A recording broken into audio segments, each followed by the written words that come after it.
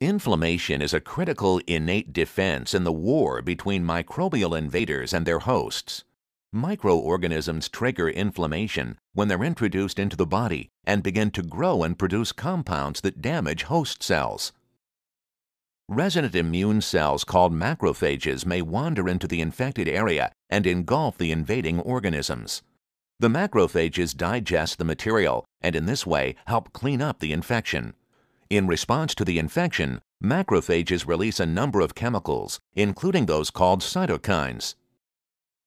Cytokines are small proteins that regulate the immune response.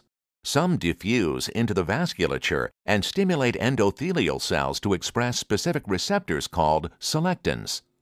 Selectin binds to carbohydrates on the surface of neutrophils, snagging the cells as they flow by in the bloodstream and slowing them down, such that they roll along the endothelium. Inflammatory signals trigger these rolling neutrophils to express adhesion molecules called integrins on their surface. The integrins lock onto adhesion molecules called ICAM1 and VCAM1 on endothelial cells. The tight adhesion stops the rolling and the neutrophils begin to stretch out along the endothelial surface. Damaged tissue cells in the area of inflammation release bradykinin, a 9-amino acid polypeptide that helps loosen the tight junctions between endothelial cells. Neutrophils can now initiate extravasation, in which they squeeze through the loosened endothelial wall and into the tissues, where they can help macrophages attack the invading microbes.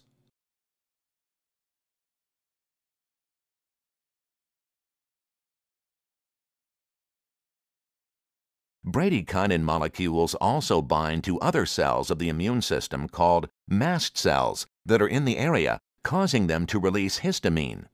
The histamine further loosens the endothelial cell junctions, allowing more fluid and cells to move out of the capillaries. Bradykinin, when it attaches to capillary cells, induces the cells to synthesize prostaglandins, Prostaglandins stimulate nerve endings causing pain, which draws awareness to the infected area. The five cardinal signs of inflammation are redness, warmth, pain, swelling, and altered function at the affected site.